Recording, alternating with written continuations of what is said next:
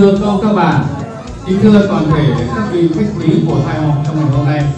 Vâng kính thưa các cùng các ông các bà à, hôm nay chúng ta có mặt nơi đây để cùng nhau lo cái việc ăn hỏi cho hai cháu Sơn và cháu Châu.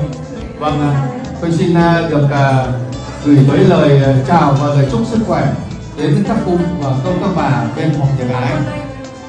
À, chúng tôi nhà trai hôm nay chúng tôi đến đây thứ nhất là được sự đồng ý của các cụ công các bà gia đình bên nhà gái. Cháu sơn nhà tôi và cháu châu nhà các cụ công các bà đã có một cái thời gian tìm hiểu yêu thương nhau. Được sự đồng ý của hai bên gia đình và được sự nhất trí của à, các cụ công các bà hôm nay gia đình nhà trang chúng tôi cũng à, được phép lo sinh lễ để lo được cái lễ ăn hỏi cho các cháu hôm nay phái đoàn nhà cha chúng tôi uh, có mặt sự hiện diện của các bác các chú uh, cô dì chú bác bạn bè của cháu sơn. Và uh, chúng tôi cũng uh, xin được uh, cảm ơn sự uh, đón tiếp nhiệt tình của các cụ công bà bên nhà gái. Thì uh, trước cái uh, uh, sự đón tiếp nhiệt tình này chúng tôi vô cùng là cảm kích. Thế sau đây là tôi có uh, một có lời là xin các cụ các bà bên nhà gái đón nhận cái ờ, lễ vật ăn hỏi của gia đình nhà trai chúng tôi để tiến tới ờ, ngày ờ, lễ thành hôn của các cháu sắp tới đây. Sau đây tôi xin được nhận lời cho chuyện cho nhà gái. Tôi cũng xin các cụ các bà nhận lời và nhận cái sinh lễ ăn hỏi của gia đình nhà trai chúng tôi.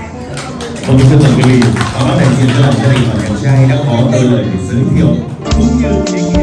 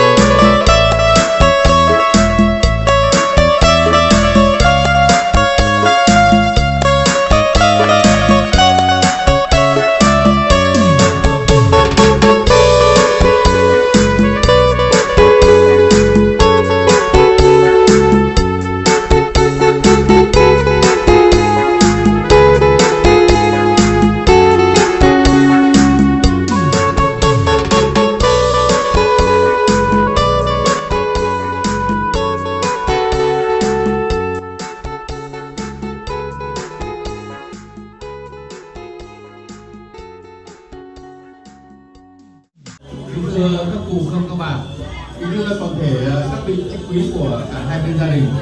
Tôi xin ờ, thay mặt gia đình một nhà trai xin ờ, trân trọng cảm ơn sự nhiệt tình và chấp thuận cái lễ vật ăn hỏi của gia đình chúng tôi. Và để chuẩn bị cho cái lễ thành hôn của hai cháu vào ngày mai, chúng tôi xin có cái lễ dẫn cưới. Và để xin các vị công các bà bên nhà gái chấp thuận cho chúng tôi, để chúng tôi có được cái sự chuẩn bị thật tốt cho cái ngày lễ ờ, thành hôn của hai con chúng tôi trong ngày mai. Để sau đây ờ, tôi xin ờ, được các cụ ông các bà cho phép hai bên gia đình trao cái lễ xin cưới của gia đình của chúng tôi xin trân trọng cảm ơn. Dạ vâng Rất là